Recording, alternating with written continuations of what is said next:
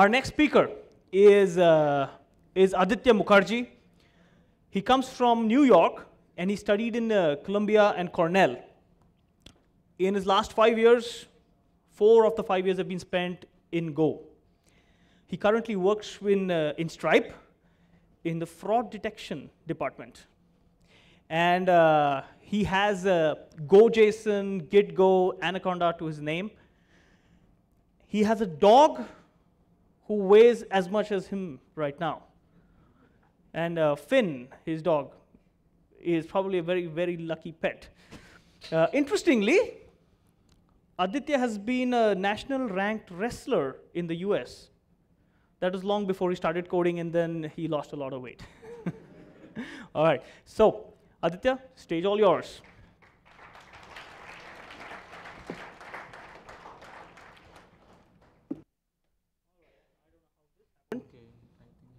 It's all right. It's great to see so many people uh, here today excited to talk about and, and learn about Go. And I'm excited to be here too because I'm talking about my absolute favorite feature in Go, which is interfaces. When I first started writing Go almost four years ago, I saw interfaces as a limited form of inheritance. So I used interfaces from the standard library when needed, but I would convert them to concrete types as soon as possible, and I almost never saw the reason to write my own. But this changed once I started working on larger projects, like the Twitter client library for Go, which I maintain, uh, and GitGo, which is a pure Go implementation of Git.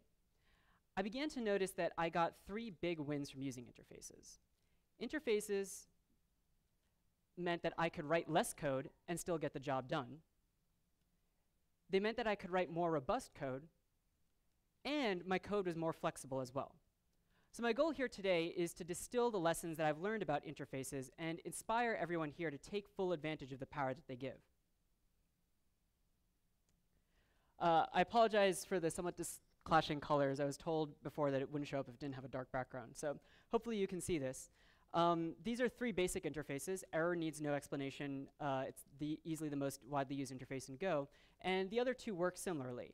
Any struct that, or actually any type that provides a method matching one of these exact method signatures will satisfy that corresponding interface. You don't have to declare it ahead of time, so that means that you might actually have written uh, types that satisfy the stringer or the get object interfaces without even realizing it.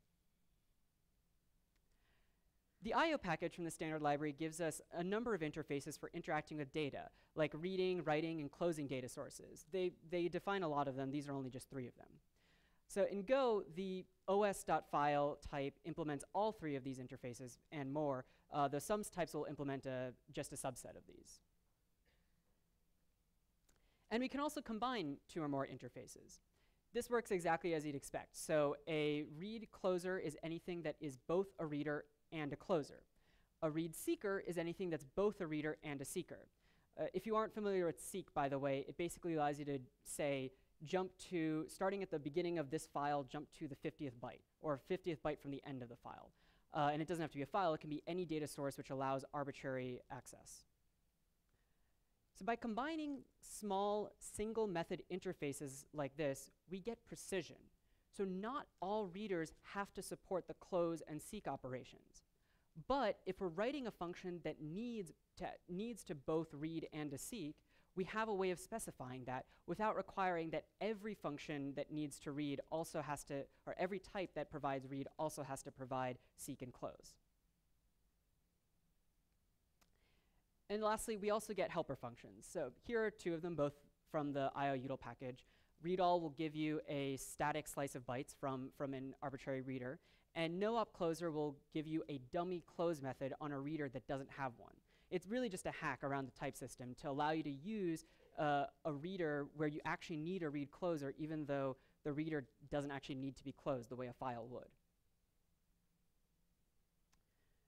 The I.O. interfaces are some of the most powerful interfaces in the standard library, so it's worth taking a look at what makes them powerful. First, they abstract a lot of common functionality.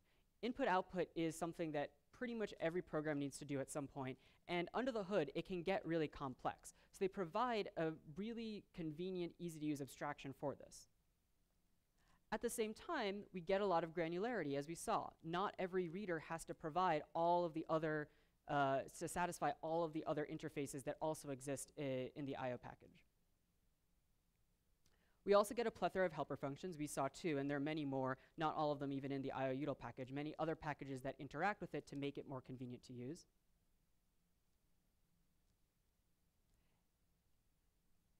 Error, though, on the other hand, is interesting because it's powerful, but for almost the exact opposite reasons.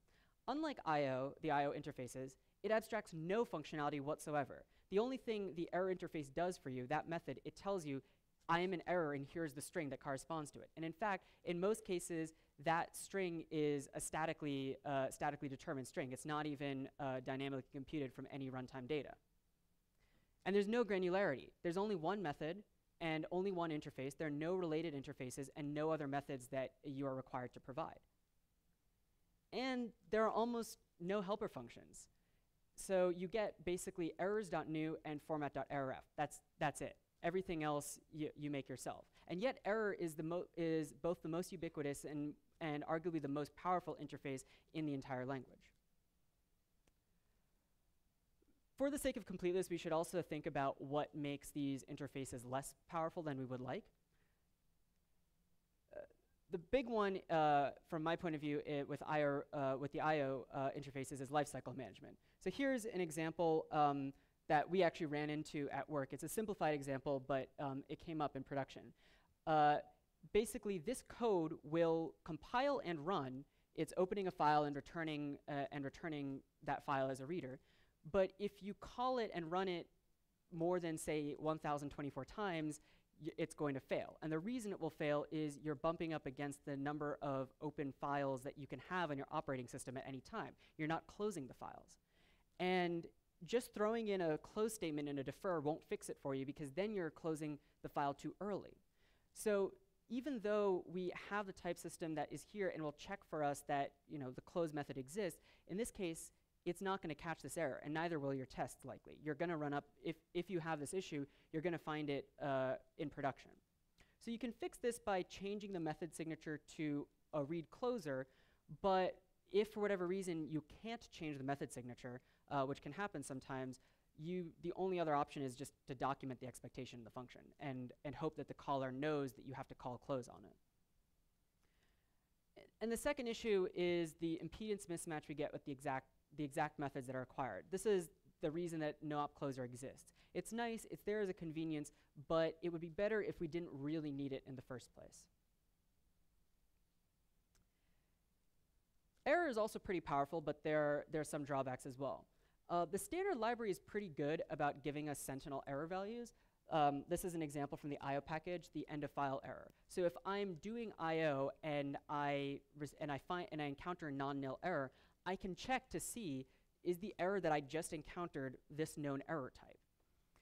The standard library is pretty good about defining these, but third-party packages are not always so great. And this is where overuse of format.errorf can be quite harmful it, it's really nice. It's a convenient way to get dynamic information about, um, contextual information about an error in the error string, but it means that it's much harder to, to actually categorize and uh, respond to your errors properly. It's much better to use concrete error types that also give you other methods to access that data instead of sticking that into the error string. And I'll admit, this is probably, this is actually the single thing that I dislike mo most about interfaces in Go. Um, there's a reason that they work this way. Um, it's explained in the Go FAQ if you're, if you're interested, um, but it's outside the scope of this talk. Uh, in short, if you want to be able to check that your error, that your uh, interfaces are nil, uh, make sure that you're including the conc or the sorry the error the interface type in all method signatures and not the concrete type. Um, if you know what the concrete type is going to be, you just have to document it. So this is what os.open will do. It uses error in the return signature, but it says if there's an error, it will be of type path error. So now that we've seen some examples, we can infer two criteria for making powerful interfaces. First, our interfaces should be humble. They should specify the weakest possible assumptions that need to be made about our code. For example, if my code, if my function uses an os.file, it's expecting a file, but the only thing it ever does on that file is call the read method on it, I don't actually need to require an os.file as input. By giving an IO reader, instead I can I make it more flexible, which means that I can substitute in you know, mock, mock data when, when debugging. But I'm also signaling to anybody who uses the function that the only important thing this function does is read. When I pass in something to this function, I can be pretty confident without looking at the source that it's not going to say call the chown method on the file uh, on the file struct, even though that's that's a valid method that also exists.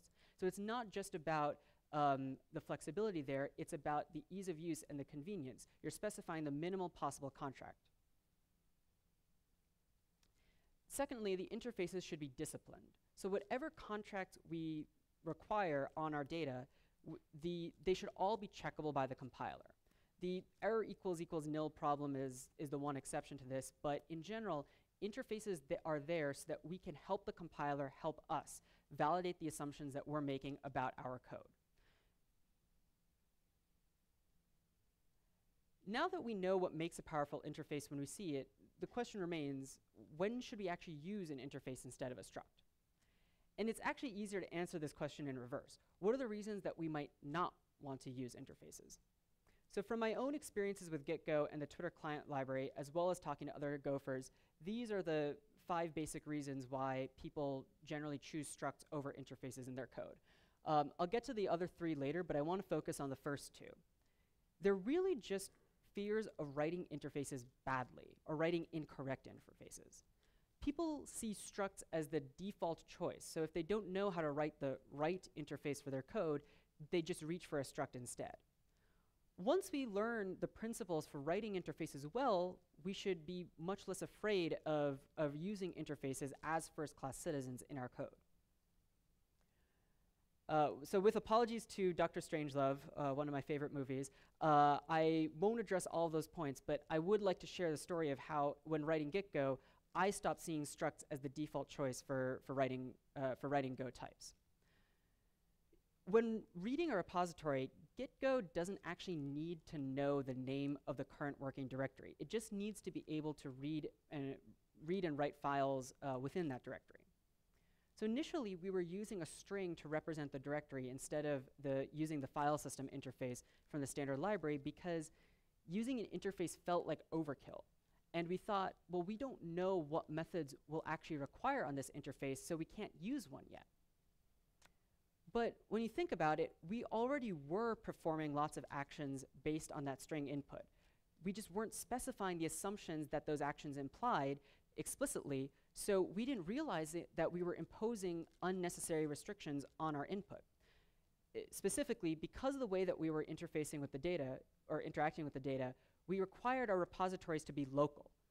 And replacing the input with an interface instead of the concrete type, and uh, namely with an interface that actually specified the real correct minimal contract for the type, allowed us to uh, remove this assumption and use remote repositories over a network without downloading the whole thing first. This is something actually Git itself doesn't, doesn't really do, um, at least not easily.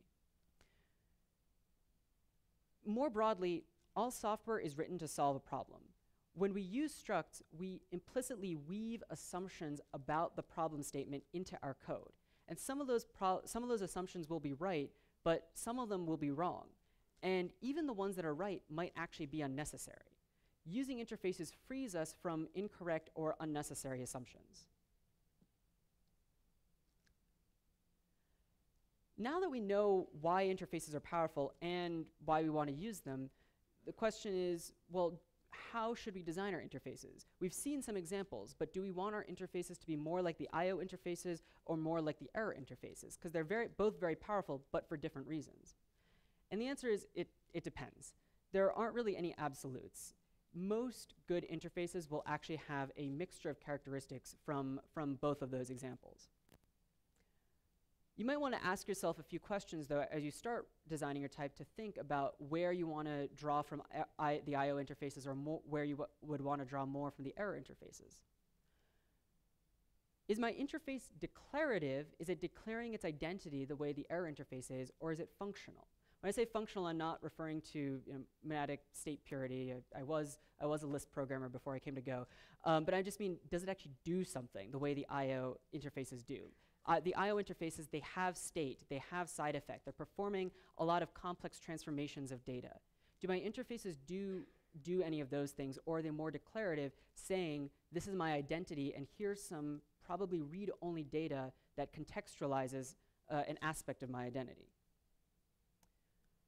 Additionally, you want to think, will this interface need any closely related sibling interfaces or cousin interfaces, the way the I.O. interface does, uh, the I.O. interfaces do? Or is it more like the error interface, which is pretty standalone and does its own thing and does it well? We won't go into these two in too much more detail, especially since it might be actually hard to see, but I'll encourage you to look at them more in particular, the handler interface and the file info interface. Handler in particular is, it's a work of art. I think that might be my favorite interface in the entire standard library. And each of these interfaces draws both from the I.O. interfaces as well as from the error interface. Uh, and it's worthwhile taking a look at them and seeing how, how exactly they do that and why they're powerful because they mix those characteristics together.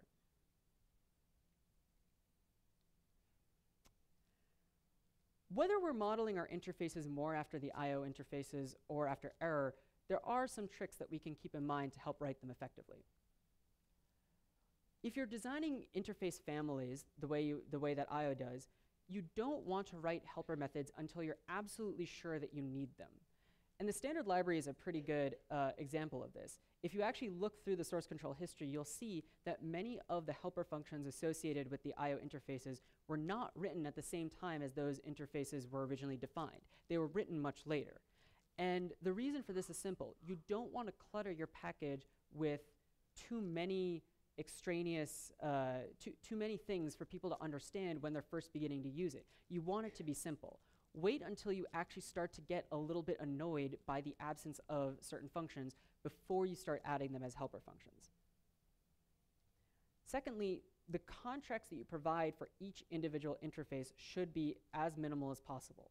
That doesn't mean it needs to be a single method interface, but if you find yourself adding too many methods to each interface, you might want to think about splitting them up into composite interface types instead.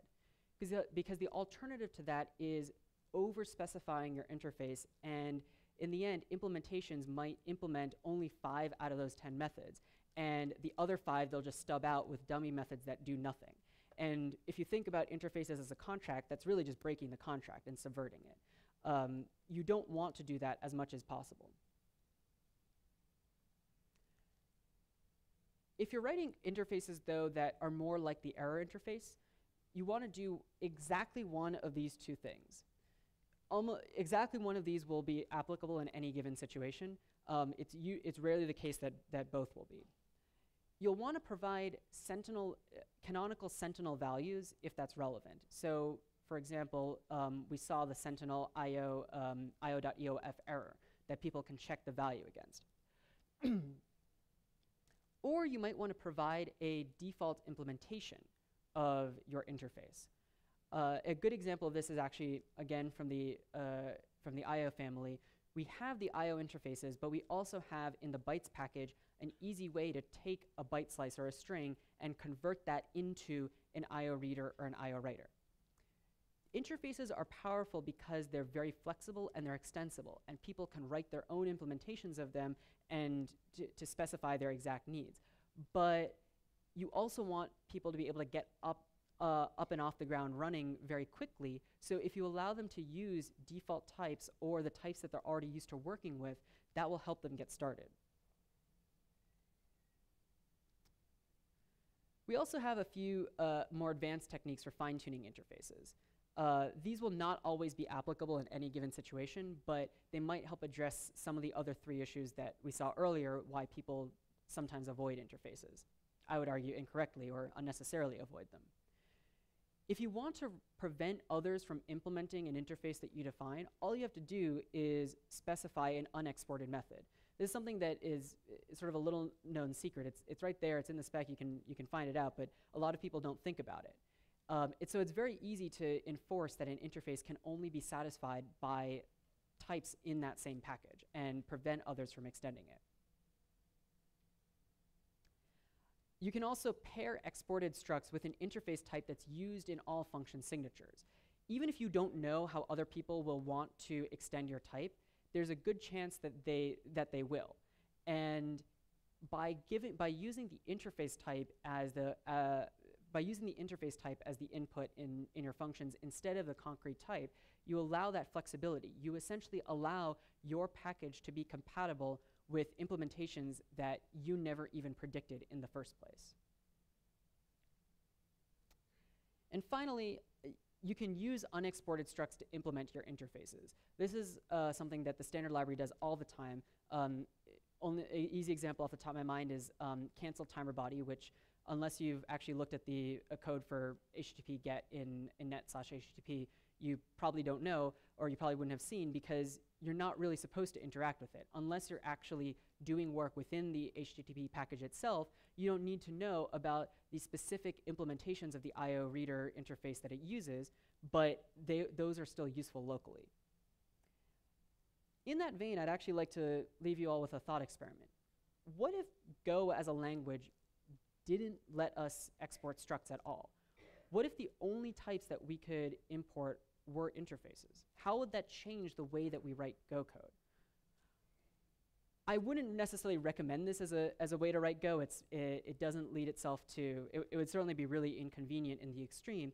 But for those of you interested in dipping your toes into the water with interfaces, it's a great exercise for understanding what it really means to treat interfaces as truly first-class citizens in Go and, and seeing what power that gives us.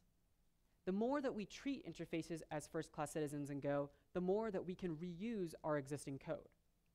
The more that we treat interfaces as first-class citizens in Go, the more we can validate the contracts that our code makes, even if we, even if we don't realize it. The more that we treat interfaces as first-class citizens in Go, the more we can free our code of those extraneous or incorrect assumptions. So this right here is the hidden power of interfaces.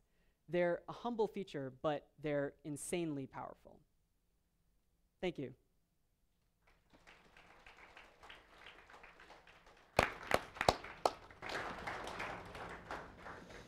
All right, a few announcements before we get into the next talk. One is uh, you have a stall here for Pearson Books. Uh, the new book that is there, the definitive guide to programming with Go, they're giving it a 20% discount. So the book is actually for, uh, it's selling for 600 rupees minus 20, 20% discount. and along with that, you get some 10% uh, coupon for Amazon too. There's a board in that corner for lightning talks. Lightning talks are going to be held this evening, and it's going to be on a first come, first serve basis. So if you write your name from the top, we're going to call him that. Everyone's going to get, this is your chance to get five minutes in the limelight an excellent opportunity for all people who are sitting in the crowd saying, hey, I wish I could speak too. And this is the stage you're going to speak on. So why not do that? So I'd love to see that board get filled up. And uh, I know we are no Wi-Fi, but that doesn't mean we are on no Twitter conference. So our hashtag is uh. All one word, hash GopherCon India, no spaces. All right. So